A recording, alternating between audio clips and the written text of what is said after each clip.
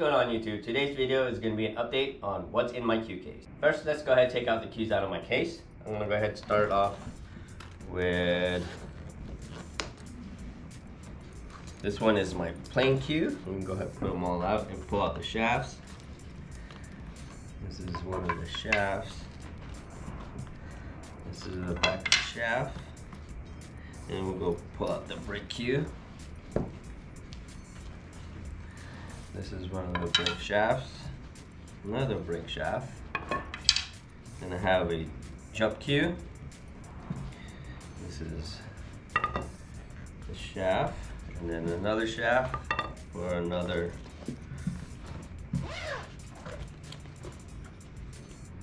jump cue. And then let's go ahead and talk about my um, my cues first. We're gonna go ahead and start off with my plain cue. This is my plain cue. This is a brass pin with a radial um, radial thread. It's a 3 8, you could also say 3 8 by 8. And this is a rosewood, has a thin black ring here so that I can match it with my shafts. And it goes into curly maple. And then it goes to the butt sleeve, that is a rosewood also. It has a Hoppe ring with a just a phenolic um, butt cap and of course the Southwest style bumper. I also tap these cues when I make them so that I can put um, a Predator style extension bumper but I don't really like using extensions so I just put a regular Southwest bumper just for the weight and this weighs um, less Together with this shaft, it weighs 17.5. And this shaft weighs uh, 3.5. So this one is the carbon shaft. Has a thin ring in front, but if you notice, I also, when I built this shaft, I inserted the phenolic inside the shaft itself so that it, it's not just the ring. and then it goes to the front this one's a T34 with a G10 and the G10 is actually um, inserted and this is just for sight and for looks but that's what holds the, the front end together. Then I just got a clear pad. This one is the Horo leather tip. This is a prototype. It's a hard tip. As you can see it's a green one. I trimmed it down. Still doing some testing to see how it feels. I actually like how it hits. It's very consistent. As you can see, I've been playing with it and it doesn't mushroom. That's why I like hard tips. That way they're uh, less maintenance. You actually just have to play. This one is my backup shaft. This is a Kielwood or torrefied wood. Just a regular maple that's torrefied, roasted. Also did the same front end, G10 in the front, T34 with a clear pad but this one is a milk dud. I make my own milk duds. It's a La, Pro and I just leave them in milk and then I press it for 24 hours. This is like a pro taper. This one I also built and you have the thin ring. This is also inserted into the wood. That way it's not just floating.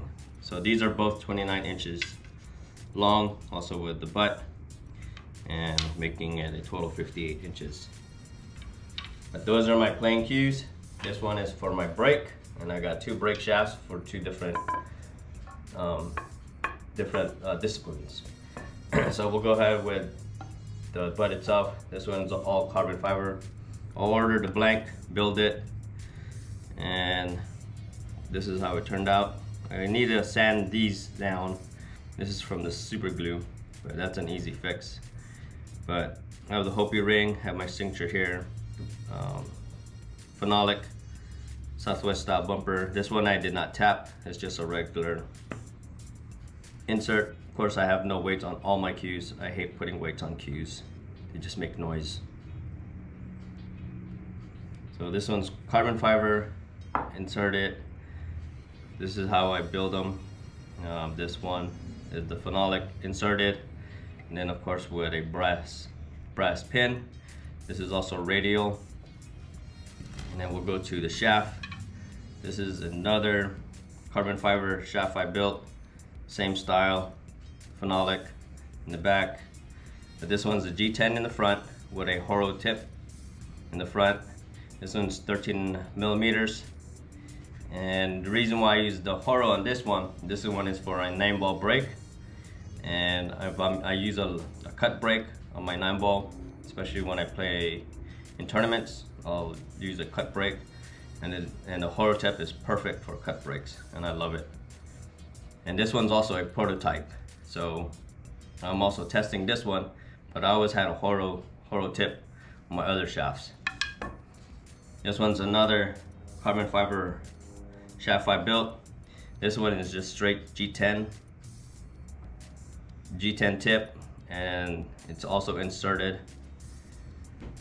Same with the back, how I have my, have my thin ring, this is also inserted. The reason why I have a G10 on this one, not a Horo tip, is this is like for a 10 ball break or when I'm breaking hard on 8 ball. And this is what I'll use for like for cut breaks and everything, I'll be using the Horo tips. Even if it's an eight ball, I'll, if I go do a cut break, I'll use this tip. So that's why I have two different shafts for one brick, one brick butt. this one is my jump cue. This one's a three-piece jump cue. This one I also built. This one matches my playing cue, as you can see. The reason why is I built this first and I messed up cutting it when I was um, making the taper it didn't taper right. So instead of wasting the wood, I converted it into a jump cue. So that's why you see curly maple here and a brass pin.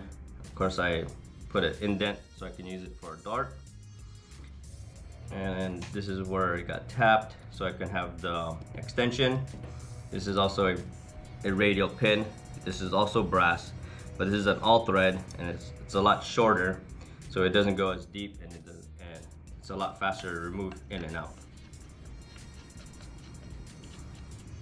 Versus having a long radial pin. Then of course the Hoppe ring, and you got the phenolic in the back and a Southwest style bumper. And I also rounded these corners off so it's not as sharp. And that way it gives me that um, for gripping. And that's how I design my jump cues. If you follow me on my Facebook and also my YouTube channel. I have a lot of shorts on my jump cues. I've been selling jump cues and this is this is how you'll I'll grip it here for the long jumps and for the short short jumps it would be this way. And I could also do it this way. But this is the shaft that it goes with. This is also 13 millimeters long. This one is a super thick uh, walled shaft compared to this one. There are two different shafts. You can say this is almost conical. This is a pro taper.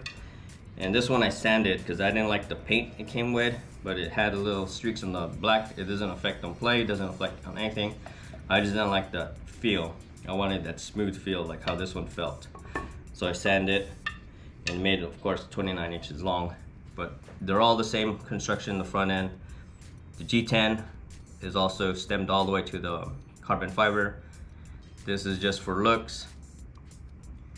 It's and of course it has a Horo Horo tip. This is the White Storm. One of the best um, tips for jumping. I love it. And of course the way, same way I do in the back end.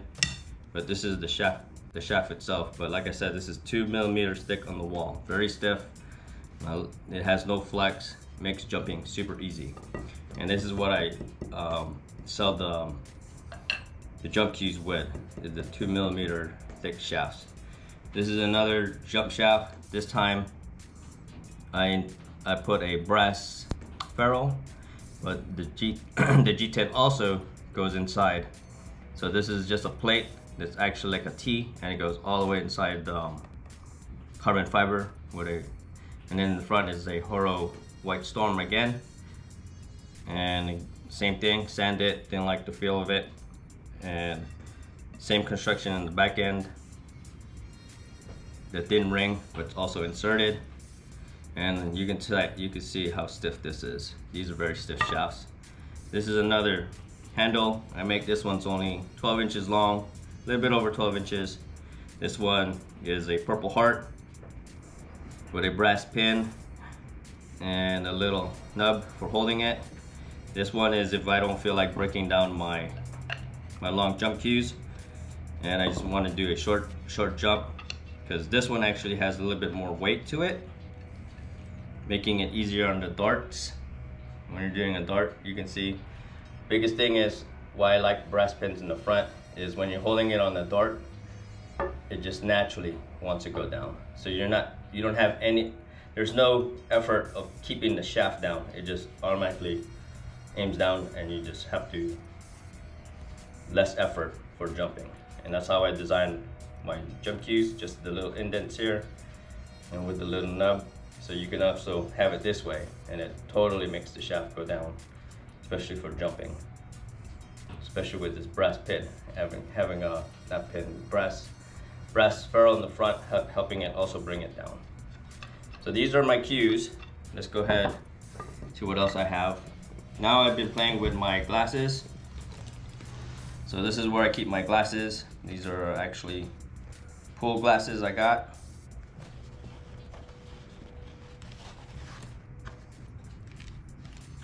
Started wearing glasses.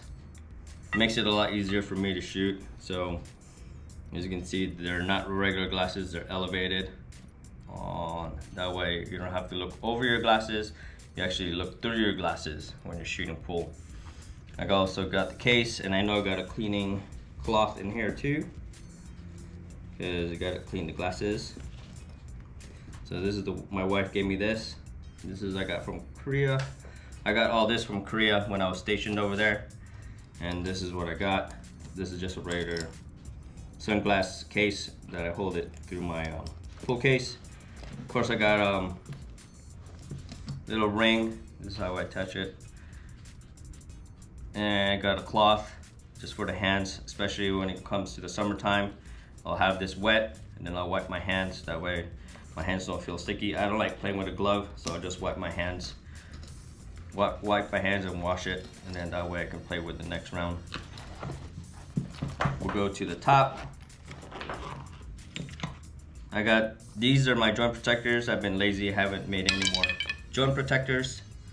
But this one is just for my playing cue of course and this is how it'll look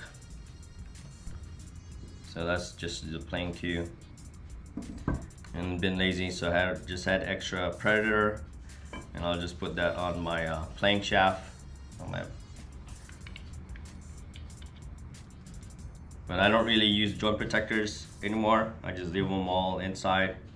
And with this JB case it's amazing and it secures the cues so it doesn't go anywhere and it doesn't bump around an extra one. So I'll probably use this for my um, break and one of my break shafts but that's have in there these are my essentials um, always have to have a bridge just because if you go to different um, pool halls if you go to different tournaments they don't have a bridge you'll always have one I'll use this sometimes especially on league. We'll pull this out, have all our, um, this is a cue holder. You set it on the table. It holds all, it holds five cues. What I have. Got a patch for Horo tips. This one is to scuff my tip itself. I don't like using the needles. This is probably the best, one of the best scuffers out there once you know how to use it leather to just burn tips. And then let's go in here.